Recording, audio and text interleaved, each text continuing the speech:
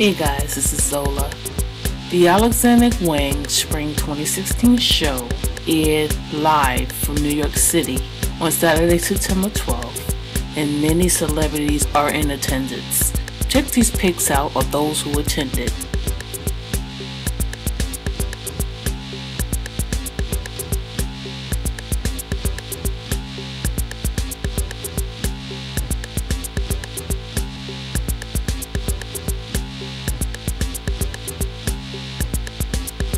Comment if you would like.